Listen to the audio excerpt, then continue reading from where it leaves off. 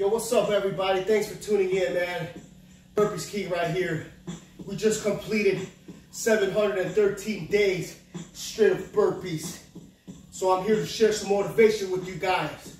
I just got my workout routine in. Me and the Burpees Queen, we just got a workout routine in.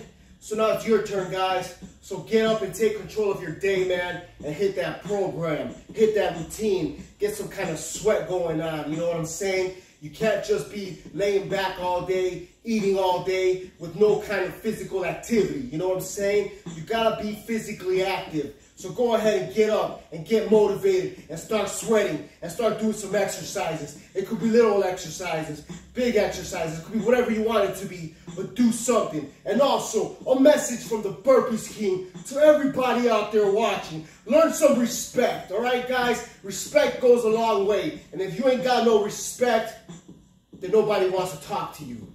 Plain and simple.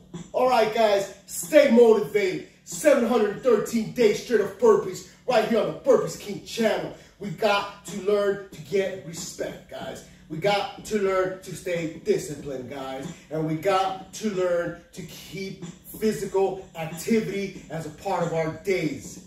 So for those of you who are skipping out on your workouts, it's unhealthy. It's very unhealthy, guys. Look into it, man. If you don't care about yourself, nobody else will. Burpees King. Can't stop, won't stop.